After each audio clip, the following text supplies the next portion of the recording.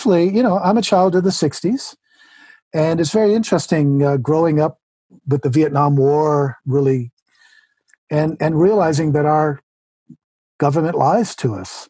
Well, back in those days, you know, as a as I was a Navy brat, my father was career military, so that's a pretty big realization. Mm-hmm. And suddenly, the world is different than you thought it was.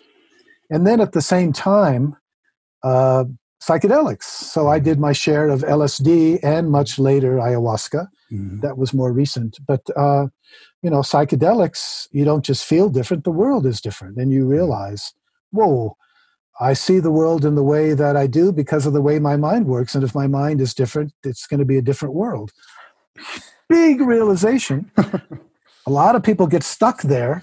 Give me some more acid. Mm-hmm. But the reason why Buddhism, etc., exploded in the 70s was because of the psychedelic revolution in the 60s. People realized we needed this other way to pursue this insight, right? Mm-hmm. Now, I'd been a draft resistor as well, so I dropped out. I was a hippie in Hawaii, and it was there that I eventually became involved in, in Zen practice. And then after that, went back to graduate school because I wanted to sort of look more and more at the history of the uh, Asian traditions, mm-hmm. what they had to say about what I was experiencing. I wanted to sort of use that, and so mm-hmm. that was that was the progression. And then I eventually ended up uh, the Zen master that I'd started to practice with in Hawaii, Rob uh, Yamada Koun. He visited. Mm-hmm. Then I uh, I really felt very connected with him. So I ended up living in Japan 20 years and um, um, completing the koan, the curriculum of koan study with him. Mm-hmm.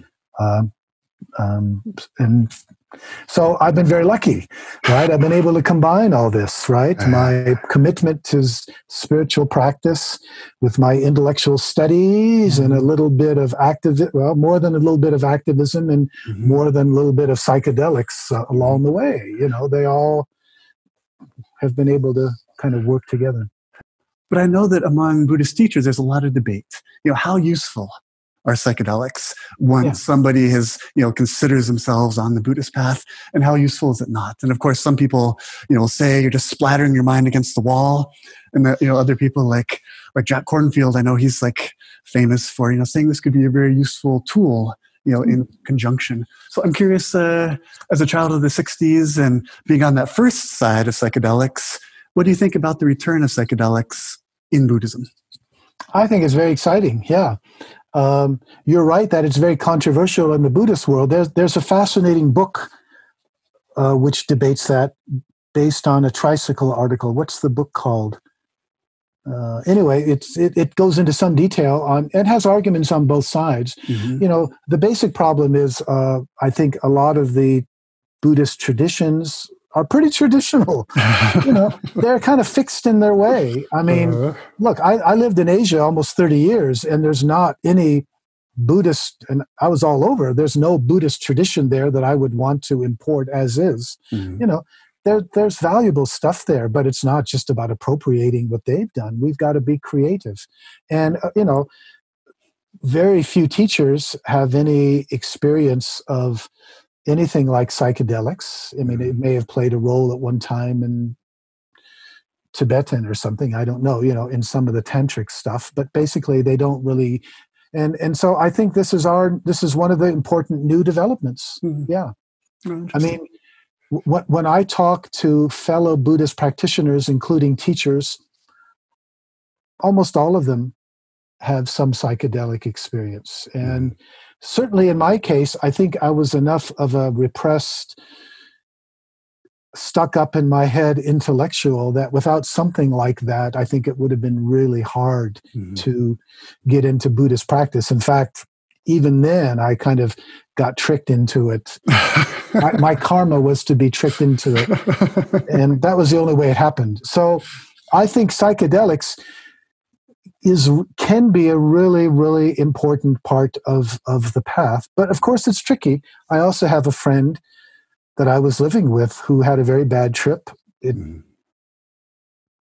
it plugged into some deep psychological problems. He went home and he shot himself. He killed himself. You know, so we know we know things can go wrong. So it's no joke. Mm-hmm. And then there's all the legal repercussions as well. But I think more and more there's the realization that this can play an important role. Yeah. I mean, how it's going to play out now in the future, I don't I don't know. I mean, I'm living in Colorado. Marijuana is, and also I, I just recently Denver. I think now uh, psilocybin is yeah. legal there, yeah. which is quite attractive. You know, yeah. yeah. So you know, and I think there's now this petition in Washington, right? Washington State. I keep getting these emails. Hmm. They want to put that on the ballot oh, to make psilocybin uh, legal in Washington. So you know, there's definitely a movement, and I think it's very exciting. I have to say, I had more trouble with uh, ayahuasca. Mm. It's just so foul. it's almost like my body was saying, "You're not going to do that to us again," you know, kind of thing. So, and what kind of know. context were you drinking ayahuasca in? Uh, well, I, I, I was in Peru. Okay. And, and it's interesting talking about karma. Mm-hmm. I'd heard a lot about ayahuasca. I wanted to do ayahuasca. I was curious. Mm-hmm. Very kind of very different from the psychedelic, right? Yeah, yeah. more body based, right? Yeah. So uh, I really wanted to try, but my my my attitude is when it's meant to happen, it will fall into place. Mm okay, what happened? I got invited down to Peru mm. by a group in Lima mm-hmm. who wanted me to do a workshop on psychotherapy and Buddhism and lack mm-hmm. and all that. And it just so happened that the guy that was in charge of me, his mother, along with a French doctor, had founded a ayahuasca center. Mm. For the practice of ayahuasca in rural, and so he's done it many times. He, his girlfriend's done it, and it just fell into my lap. They took me to this center, and uh, so I tried it. You know, mm-hmm. and it, it's, uh, but it, it, was tough. I, I, think I was dehydrated, mm-hmm. and it was so foul. It, uh, I guess, both times, it it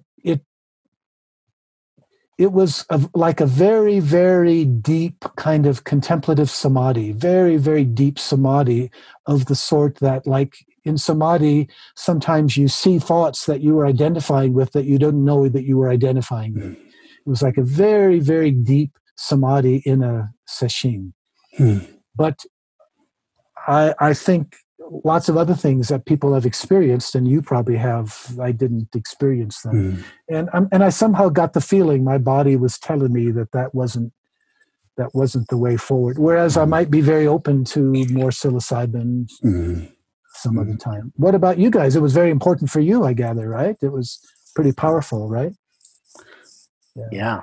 i mean i don't i don't i don't think without that i would have i don't know that the door would have opened with mm-hmm. any kind of meditation without knowing what's possible. Right. And man, with the ayahuasca, I was like, okay, the possibility is. That's it.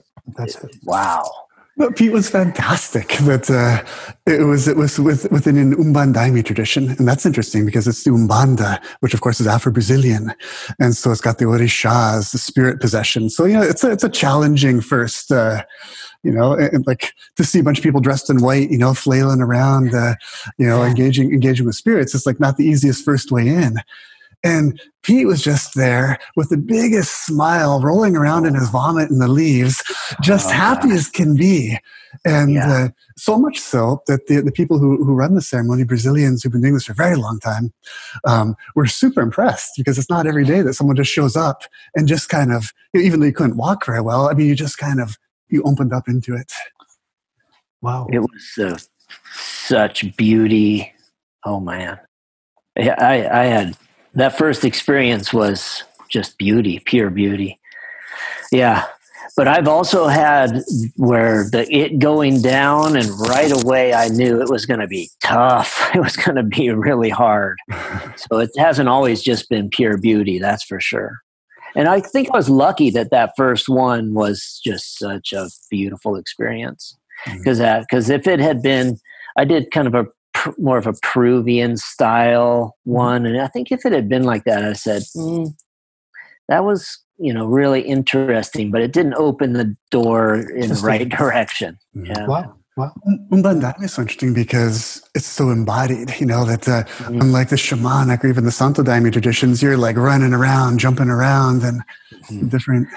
for me that was very important that the the peruvian thing when i just had to sit there i literally was contracting every muscle in my body just sitting there it was very difficult which and i appreciate difficult situations so it gave me what i needed but that ability to move and that really uh, That might have made a me difference for me. Yeah, yeah. And both both my cases, it was just sitting there. So, oh yeah and you know, that that's different. Well, yeah. it's not my place to invite you to someone else's deal, but I really think that the Umbandaime, being able to move, oh, I mean, we Wow. talked about, you talked about, you know, being open to love.